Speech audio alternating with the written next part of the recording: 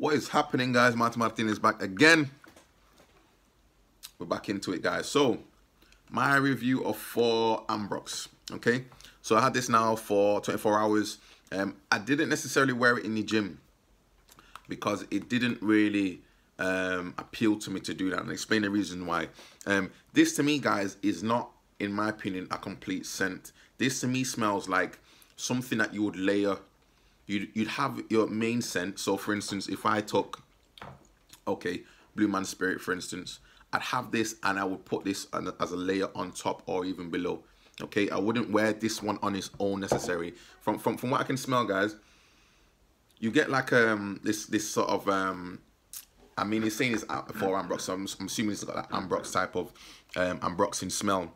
And this is what I'm getting whiffs of, guys. So the note breakdown for this one was musk, cedar in the base, and Ambroxan. And that's what it smells like, guys. It's not like a, a, scent that you would have on its own. It smells more like something you'd have to accompany another scent.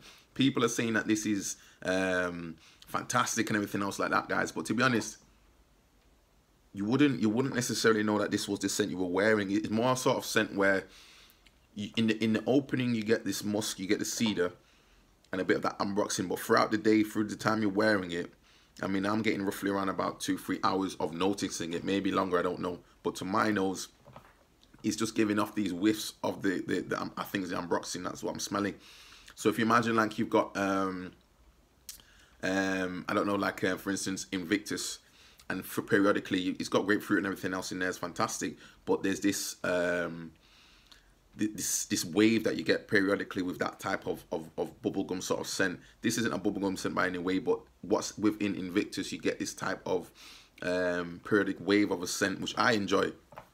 And that's what I think with this one, guys. Um, I think this one has been compared to, um, I think it's Molecule um, 01. Um, I could be wrong. Um, yes, Molecule 01. And there we go. So that's what I was expecting, and this is what it smells like to me, guys. It's not really, it's not a complete scent in itself. It's one that you may have to layer with another scent to maybe bring out more from the other scent or maybe bring out more for your real skin. But it's not a complete scent that I would say if I'm going to travel, I'm going to Spain tomorrow, I'm going to take this one. This isn't definitely not not the one for that. Um, it's okay for what it is. Um, I paid nine ninety nine. Um, it's not that bad, but at the same time, that's not necessarily um, for me my first choice. So I don't really know necessarily something that I will be looking to to use. I, I might try and test it out with other fragrances and see if it does anything, but it's okay. Um, it's like um like for instance ambergris that you have in the um, Invictus. That smell keeps coming out periodically, and, and that's what it is for the ambroxan in this. For, for me, you smell it periodically, but it's not necessarily you wouldn't be able to say and define and say this is a scent within itself if you were wearing this or even if you had deodorant on you, you'd get a whiff of this and maybe a deodorant depending on what you're doing guys. So it's okay. Um that's my review on it. I wouldn't necessarily go out my way to get it but at the same time guys just my honest opinion it is just one of those things where you have it you have it. If you don't it's not the end of the world okay? So that's my review on this one guys. Martin Martinez is back again. Thank you for likes and subscriptions. I'm going to give you a quick breakdown also my thoughts on Zara fragrances and i'll see you guys soon